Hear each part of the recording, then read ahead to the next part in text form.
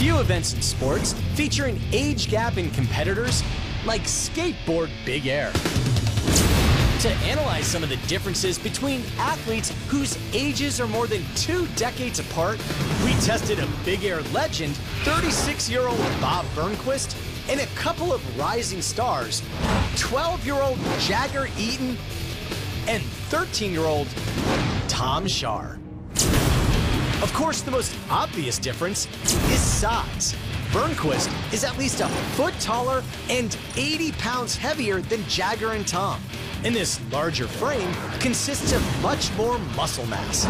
Because human strength peaks from age 25 to about 40, Burnquist's more developed muscles can generate roughly 80% more force when pumping at the base of the quarter pipe.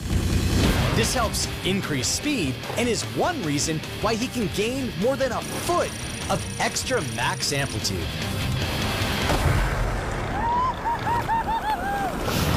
But once airborne, Jagger and Tom's smaller bodies require much less torque to begin rotating.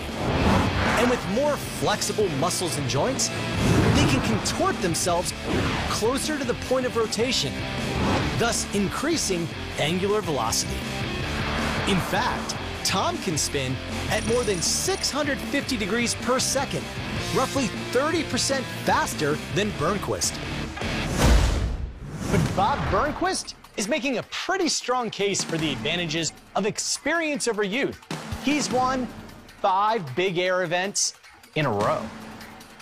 For ESPN Sports Science, I'm John Brenkus.